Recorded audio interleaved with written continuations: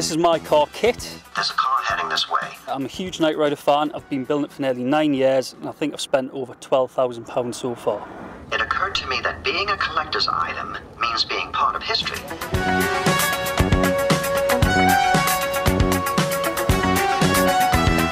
Well, the idea was always there because I've always loved Knight Rider, um, so I had to have the car.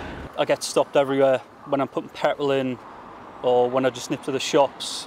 Unfortunately, it doesn't attract the kind of attention I'm after from the ladies. I most certainly can. Yeah, I get people stopping and staring. Well, I thought it was funny because it does it makes the sound as well. You know that woo woo sound.